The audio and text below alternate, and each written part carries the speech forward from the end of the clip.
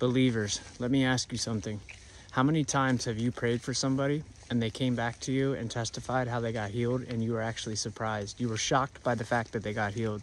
It just shows that there's a level of faith that we claim that we have, and a lot of times we actually are praying in unbelief, but God's mercy is still great and He loves people, so He wants to flow through you and heal them.